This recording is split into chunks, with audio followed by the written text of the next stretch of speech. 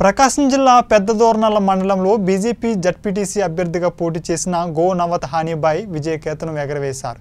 ఈ సందర్భంగా ఆయన మాట్లాడుతూ తనపై ఎంతో నమ్మకంతో రెండు వేల మూడు వందల అరవై ఓట్లు వేసిన పెద్ద దోర్నాల మండల ప్రజలకు ఈ సందర్భంగా ఆయన కృతజ్ఞతలు తెలియజేశారు.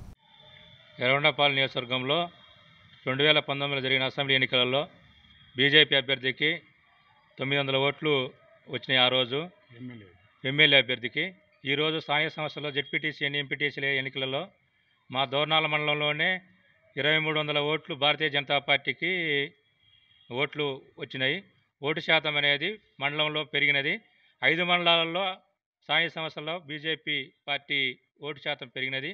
కనుక రాబోయే ఎన్నికలలో కూడా ఇదే విధంగా ఇజ వేగవంతంగా చేసుకుంటూ పార్టీని ఎల్లవేళలా ప్రతి కార్యకర్తకు అందుబాటులో ఉంటూ ప్రతి కార్యకర్తకు ఏ పనులైనా ఫోన్ చేస్తే అందుబాటులో ఉంటూ వాళ్ళ యొక్క సేవలు చేయడానికి మేము ఎప్పుడూ ముందుంటామని భారతీయ జనతా పార్టీ మల్లాదేశుడిగా నేను విన్నవించుకుంటున్నా.